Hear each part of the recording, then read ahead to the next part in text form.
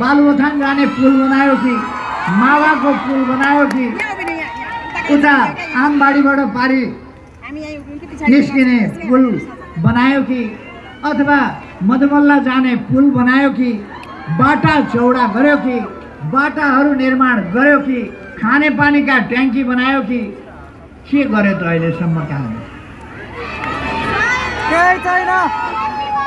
बत्तिस वर्ष बहुदलीय व्यवस्था आएको बत्तिस वर्ष भयो काङ्ग्रेसले त्यसमा बिस वर्ष नेतृत्व गर्यो।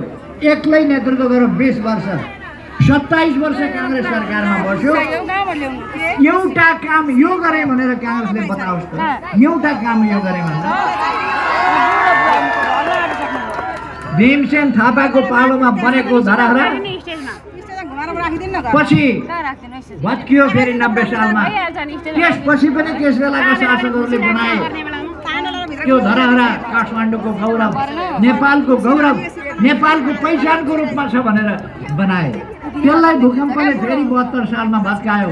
हामीले उठायौँ। सेतो भ्यू टावर भन्दा बाहेक केही पनि होइन। अरे उनीहरू हरेक चिजलाई नकारात्मक ढङ्गले हेर्छ। धरारा बनेकोमा पिर परेको छ रानी पोखरी बनेकोमा पिर परेको छ पुनर्निर्माण भएकोमा पिर परेको छ पुरातात्विक महत्त्वका सामग्री निर्माण भएकोमा पिर परेको छ नौ लाख भूकम्प पीडितहरूलाई घर बनाएर जिम्मा लगाएकोमा पिर परेको छ हरेक कुरामा उनीहरूलाई पिर। मदन भण्डारी बाटो राजमार्ग पूर्व पश्चिम बनेको त्यसमा पिर परेको छ।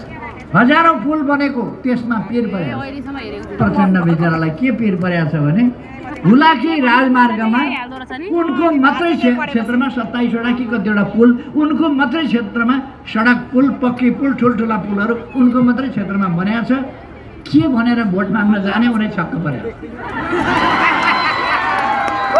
राम जन्मभूमि माडीमा हो भनेर राम लक्ष्मण सीता राखेर हनुमानको पनि शालिग बनाएर मैले त्यहाँ स्थापना गरेँ। मेरा विरुद्ध त गदा बोक्या हनुमान पो पठाइदियो के विरुद्ध? अब हनुमानले प्रचण्डका टाउकामा हान्नेवाला छन्। जेसुकैमा पनि आफ्नै विरोध देख्ने आफ्नो ठाउँको विकास आफ्नो ठाउँको बाटो आफ्ना ठाउँका पुल आफ्ना ठाउँको नदी नियन्त्रण त्यो सबै कुरा पनि विरोधमा देख्ने अनि नेपाली कङ्ग्रेस केही पनि गर्न चाहँदैन। कृषिको आधुनिकीकरण गर्यो औद्योगिक क्षेत्रहरू स्थापना गर्यो सुपर जोन जोन ब्लक र पकेट एरिया बनाएर कृषिको विकास गर्यो। अनि राष्ट्रपति महिला उत्थान कार्यक्रम लागू गर्यो। राष्ट्रपति शैक्षिक सुधार कार्य